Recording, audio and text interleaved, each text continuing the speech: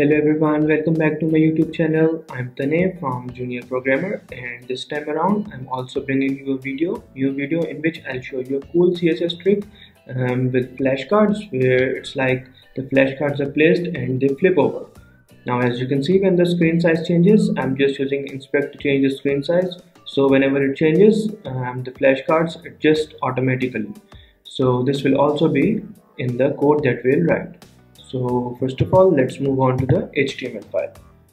Here you can see I have all the images in the directory and I'm using VS Code. You could use any other editor that you want.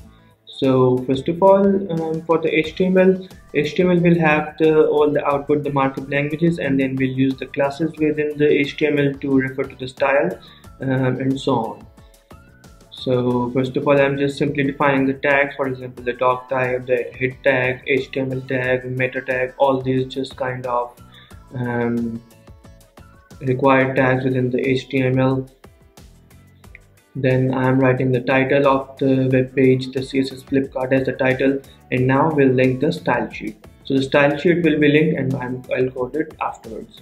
So let's move on. First of all the horizontal flip um, which is within the body tag so as you can see I'm creating a div uh, with a class flip and within that is another, is another div um, in which there is a background image and then there's a class of uh, text.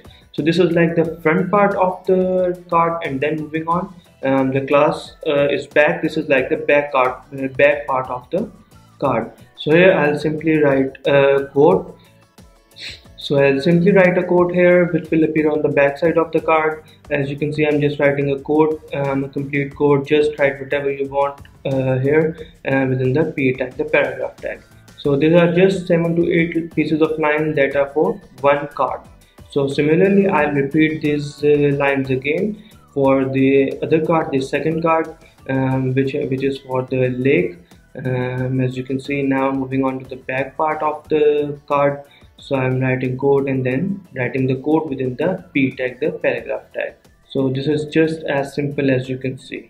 Nothing much different nothing much difficult with the html structure and nothing much like difficult to learn simple. So moving on to the third card as you can see again the same structure is there. First of all is the flip class then is the front class and also as you can see the background image. Um, I'm writing I am giving the URL to the image which is relative to the path where my file is currently there. So in the same folder is the image folder and then within there are the images. So that is how I'm specifying the images in each of the cards. So now again moving on to the div the class back the code and within that is the code uh, just as the previous ones. So now for the vertical for the vertical flip the class has slightly changed. It has changed into flip vertical. So this will just give a vertical flip instead of the horizontal flip as you can all tell from the name. So the other things are almost the same. For example the div within that the second div is the same which is the front uh, with the class front and the image is also put in there. And then is the uh, you can see the thing that will appear on the front of the card and then is the code um, and then now moving on to the fifth card um, it will also have a vertical flip. Again I'm using the same format um, first of all the header for the front of the uh, for the front of the card then moving on with the classes back and then writing the code word in the header tag uh, h2 and then the paragraph in which I'm actually writing the code itself.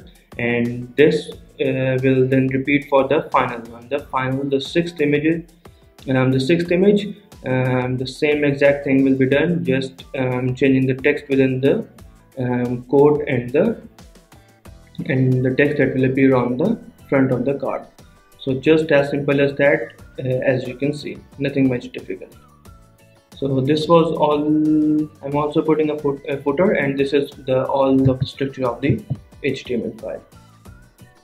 So now we'll move on to the css file the important file for this kind of projects because all the cool animations and the styling will be done in the css part. Um, you could uh, please pay attention on this part so you can understand how everything's done.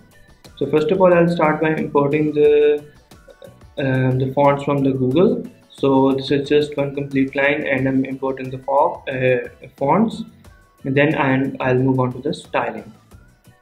So as you can see I've started from the styling of the whole document. Um, asterisk means the whole document. I'm just giving some box sizing and font weight and then moving on I'll just I'll then just um, style different tags and different classes according to the um, HTML document. So for body the, then for h1 then flip and then flip front and flip back all these kind of things. I'm just defining some attributes for example the color the background the text align um, the font size the position and all these kind of things. I'm also defining a transition timing function. It is like the animation that will um, take effect. So it is a kind of animation and some and some of its attributes. Within that then is transition duration 0.5 seconds and so on. Similarly, I'm doing for flip front and flip back, which is just some attributes. Um, for styling, for example, position, opacity, top, width, transform, and all this kind of things. Then for flip hover, when I hover onto the flip card, uh, which is on the front, so it will simply rotate 180 degrees. And then similarly for the hover on the back, it will again rotate by 0 degrees and the opacity becomes 1. So this means the transparency is removed. Um, similarly for the flip vertical, we are for the flip vertical it is the same but we're using the rotate on the x-axis. Um, and for the hover on the flip vertical, we're using the rotate on the x-axis. So similarly we're doing for the hover on the back and so on and then the flip class where we're again defining some attributes, the position, the display margins, from bottom and right and the width. Um, these are just some basic um, CSS styling as I've told you before um, that are important so that um, we could give the cool effects that we want in the output.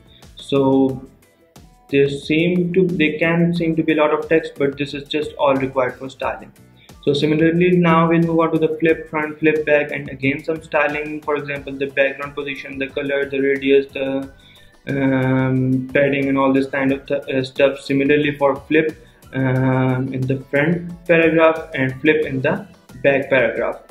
So this so it is like the paragraph within the flip where we have actually written the code so again the font size line height and the color is displayed. So this will be the color in which the font will be displayed. And um, then the text uh, shadow. So i'm again i'm defining the text shadow.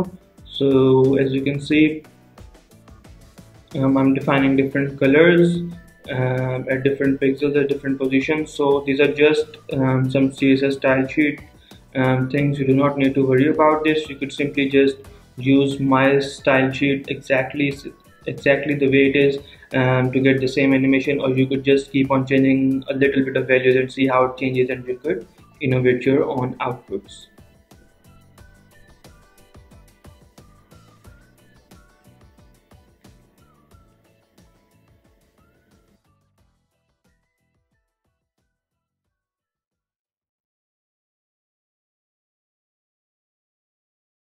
So I'm finished with the uh, CSS style sheet and then is the output. As you can see um, these two um, flip on the vertical side um, and this one flip on the horizontal side. So this is the difference. Uh, for example these one flip from the top to bottom and the upper ones where it is written like ocean they flip from right to left. So this is the difference between them um, between vertical and horizontal. And as you can see as I resize my screen they all come in one single line. So this is also defined in the CSS style sheet um, simply. And this is how you could achieve a cool animation so thanks for watching my video and I hope to see you all in the next video. Um, please give me a thumbs up for this video so I can keep on make, making much more content like this. And if there's any suggestion any project you'd like me to do please mention it in the comments. I'll surely look forward to it. And if you haven't subscribed my channel please subscribe my youtube channel and keep on following me. See you in the next video. Goodbye